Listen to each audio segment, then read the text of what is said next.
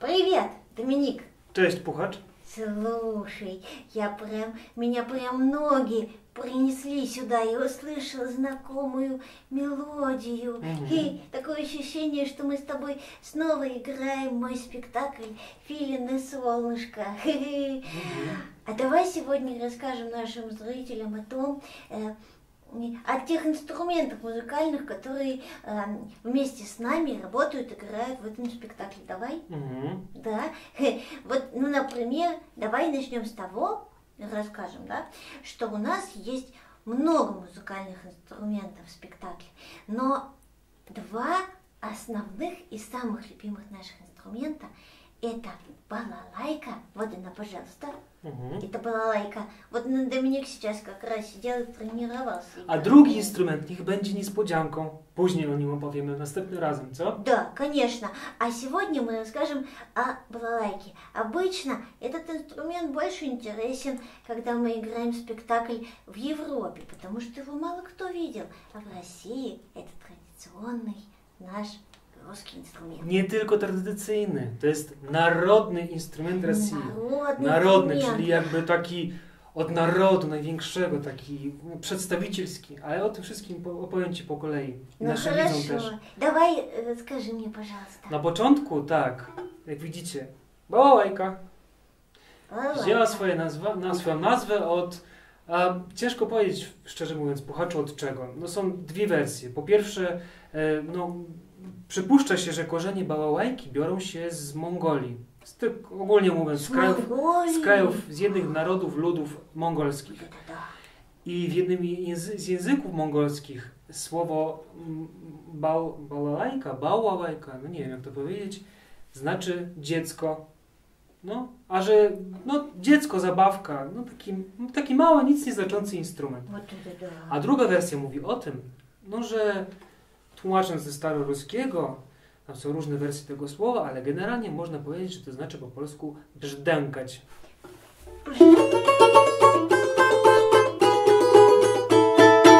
Бжден. Brzdękać. Balalać, balakalać, bala... Nie znam jak сказать. Nie, wiem- nie wiem jak jeszcze powiedzieć. Ой, я даже сама не знаю, было лайкать, что ли, правильно? Balalajkać. No, generalnie brzdękać. Брынкать, во, брынка, брынь, I точно. przez długie lata znany już ten instrument, jest pierwsze zapiski o nim znane są z XVII wieku. Pojawiły się gdzieś tam w czeluściach archiwów rosyjskich. Мгм. Pierwsze zapisy. Był to rzeczywiście tradycyjny ludowy instrument. Ale z czasem, a dokładnie w 1823 roku, wielki mistrz, klasyczny, klasycznie wykształcony e, muzyk, Andriejew. Nasz. Aha. Mhm. Odpoczywał na wsi. Mhm. Aha. Odpoczywał na wsi tam, no czy spędzał dzieciństwo na wsi i spotykał się z instrumentem, z taką podobną balalajką. Ona wtedy była bardziej prosta, nie tak skomplikowana. I jako wykształcony muzyk tak się zachwycił tym instrumentem, że stwierdził, że fajnie byłoby, jeśli można byłoby w orkiestrę symfoniczną przynieść taki instrument, żeby zrobić go generalnie profesjonalnym, profesjonalnie brzmiącym.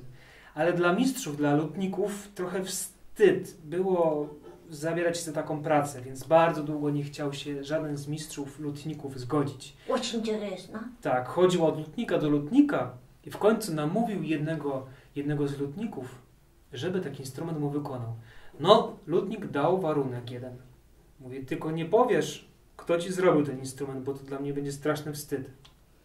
No, później okazało się, że instrument zrobili, brzmi on rewelacyjnie, a z czasem zaczęto, Andriejew zaczął rozwijać grę na, na, na bałałajce, zaczął tworzyć różne wersje instrumentu. To jest wersja prima, jeszcze jest troszeczkę większa wersja alt, tenorowa jest i taka sama, taka wielka, taka, nie wiem, metr półtorej na półtorej, ma takie długie kraje. Это бас. Bas, Правильно. basowa bałałajka. No. Точно.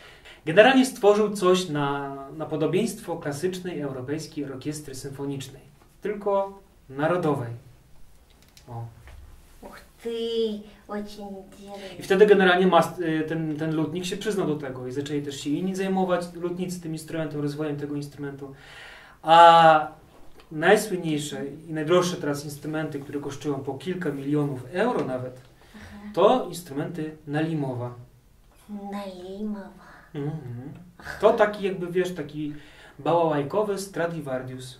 Znasz, wiesz co to jest Stradivarius? Традивар. Takie skrzypce, nie? Да, Узнаем да, да, легенду, знаю, конечно, таинницам. конечно, Ну. знаю, да. Bałałajka, Ага. trzy strony. Trzy struny. Всего-то три страны. No, mi, mi, la. Albo e, e, a. Trzy struny, 24 progi. To jest instrument stworzony Dmitrijem Naumowem. mm, Mistrzem spod Moskwy, z, z takiego miasteczka pod Moskwą, Puszkina. Современный мастер. Młody, wspaniały, utalentowany mistrz, który samemu nauczył się robić bałałajki. Да-да-да, я его I teraz знаю. robi naj, jeden z najlepszych bałałajek w Rosji. Мгм. Klasycznie z czego zbudowany? E, w ogóle, ty, wie- nie wiem czy wiesz, ale po prawach fizyki, według praw fizyki, e, nie- bałałajka w ogóle nie powinna grać. Bo jaką ma formę? Почему? Ну, какую? Треугольную. Trójkątną. Но. A wszystkie instrumenty jakie są? No generalnie no, okrągłe, Ważne? jakieś formy okrągłe mają. No dyrczka ta tam kruglая. Jest, ale generalnie sama forma instrumentu jest trójkątna. No da. Bo zazwyczaj fala muzyczna, ona idzie takimi... No muzyka to jest częstotliwość, nie? I ona idzie takimi no tak. falami. Zawsze to jest jakiś kształt okrągły. A tu udało się mistrzom zasunąć ten dźwięk, żeby on był pełny, dźwięczny w trójkątną formę. No tył jest troszeczkę troszeczkę półokrągły, z takich klapek. Też jest różna ilość tych klapek. Czasem jest ich 7, 2, 4, 6, a nie, raz, 2, 3, 4, 5, 6, 6, czasem jest więcej. No to zależy od mistrza i od technik, które tam są, mhm. z sekretów, które są schowane. E, instrument mm, z różnych materiałów może być wykonany. Rączka zazwyczaj jest z jakiegoś twardego, czarnego drzewa, na przykład to jest heban, mhm. korpus może być z buku, E, u mnie jest to klon. To jest taka, taki eksperymentalny wariant gryfu, mhm. dzięki czemu troszeczkę dźwięk taki, taki wychodzi mięciutki. Aha. Najważniejsze, żeby korpus po rosyjsku deka. Deka. Deka. Aha. Ale to po rosyjsku. No. Była z czego? Z dzieła. No, z jakiego? Ja nie znam. Jel. Есть. z iglastego drzewa, Важно. ze Не с кедра, как у меня голова, Nie, nie, а из ели. Tak, ze świerku, Ага. bo to jest najbardziej brzmiący, najlepiej brzmiący materiał. Пожмется, как Zresztą drugi instrument, o którym będziemy później mówić, też ma, też jest, y, ma dekę zrobioną z świerku. Понятно. Tak. I co jeszcze powiedzieć? Ну, про современных каких-нибудь балалашников-то ты расскажи, у кого ты учился, твои учителя-то кто? Moim uczy- nauczycielem jest Sergij Worancow, Ага. którego bardzo pozdrawiam.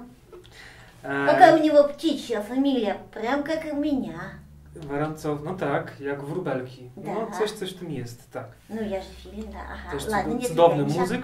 Tak, a dla mnie takim mistrzem od serca, jakby ten, którego, no, ta osoba, którą uważam za największego mistrza, jest Wiera Makarowa. Ona jest solistką Krasnojarskiej Filha- Filharmonii. Вера Макарова. Pozdrawiamy. Привет вам.